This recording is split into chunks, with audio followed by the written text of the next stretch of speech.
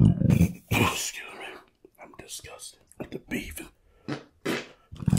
Sorry, I'm nasty.